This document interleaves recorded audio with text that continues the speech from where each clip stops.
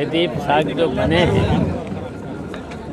ये बहुत ही जल्दी एक हफ़्ते के अंदर जिला कमेटी का गठन और सभी ब्लाक अध्यक्ष, विधानसभा अध्यक्ष और जितने भी यहाँ पर हमारे कार्यकर्ता हैं, उनको ज़िम्मेदारी दे देंगे और ये सभी हमारे कार्यकर्ता बूथ कमेटियाँ बना करके 2024 का चुनाव लड़ने के लिए तैयार।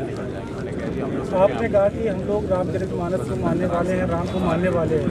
एनसीईआरटी ने सिफारिश की है कि पाठ्यक्रमों में रामायण और महाभारत को शामिल किया जाए। किस तरह से देख रहे हैं देखिए ये भारतीय जनता पार्टी के लोग हाँ अपना अपनी तरीके से। न उन्हें देश की चिंता है न प्रदेश की चिंता है न देश और प्रदेश की जनता की चिंता है। देखिए, सभी वर्ग के लोग किसान तो पर परेशान, नौजवान तो परेशान है। बताइए, संविदा पे, आउटसोर्सिंग पे, क्या दस हज़ार, बारह हज़ार में उनका परिवार चल जाए?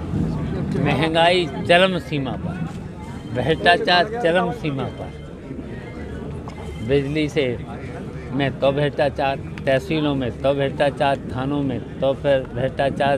सरकारी कार्यालय में तो भ्रष्टाचार और पूरा प्रदेश कुछ नौकरशाही के हवाले नौकरशाही के हवाले चल रहा है। जन प्रतिनिधियों का कोई संविधान नहीं कोई सुनवाई नहीं।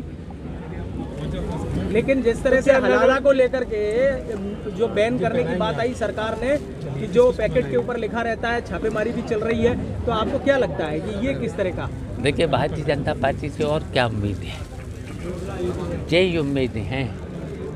जो कुछ नहीं है न तो जनता की बात सुनना है न नौजवानों की बात सुनना है न व्यापारियों की बात सुनना है।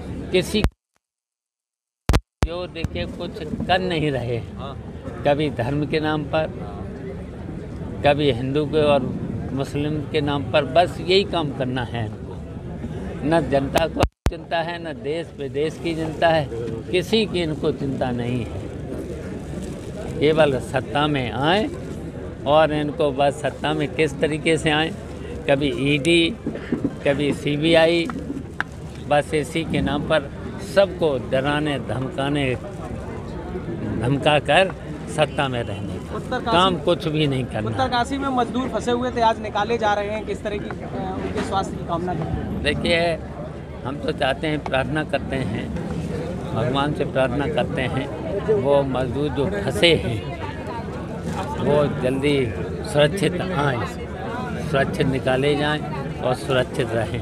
आखिरी सवाल ये है देश के प्रधानमंत्री धन्यवाद। का दौरा है आज। मथुरा आ रहे हैं प्रधानमंत्री क्या कहेंगे? अच्छा। जी।